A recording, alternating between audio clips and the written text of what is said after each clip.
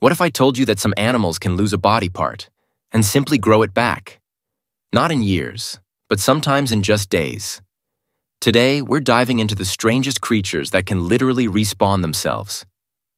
Let's start with the planarian flatworm, a creature scientists call biologically immortal.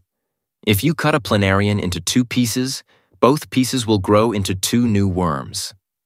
And get this in one experiment, a single planarian was cut into 279 fragments, and every fragment grew into a complete worm. Next is the axolotl, a smiling salamander with superhero healing abilities.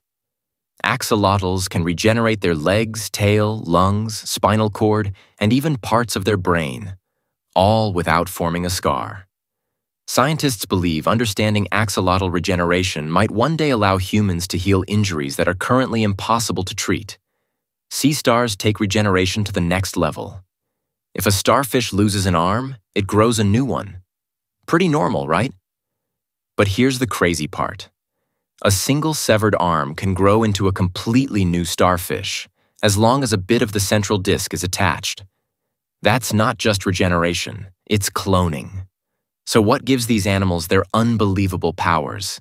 It all comes down to special cells called pluripotent cells, cells that can transform into any other cell in the body.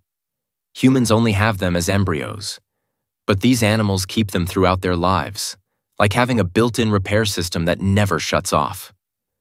From immortal worms to brain-regrowing salamanders, Earth is filled with creatures that seem straight out of science fiction. And who knows, maybe someday humans will unlock the same regeneration abilities. If you want more unbelievable animal facts, make sure to follow and stay tuned for the next episode.